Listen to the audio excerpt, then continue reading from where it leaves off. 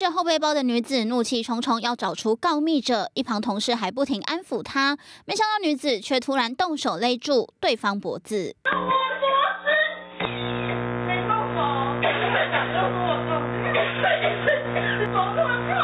被害人遭到勒紧，不停咳嗽，嫌犯却称自己没有动手。更令人讶异的是，动粗女子的身份竟然是一名知名中医师。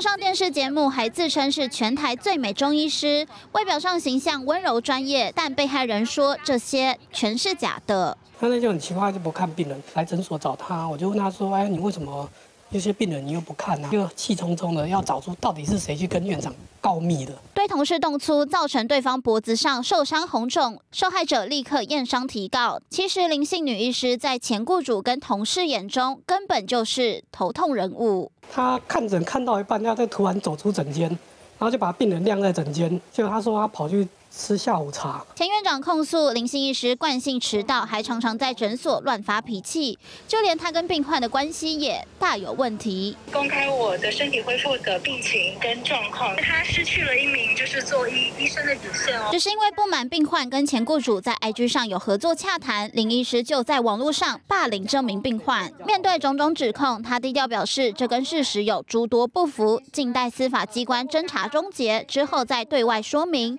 但负面争议连环爆，前雇主跟病人指证莉莉，恐怕已经重创医师的专业形象。镜新闻召集尔敦采访报道。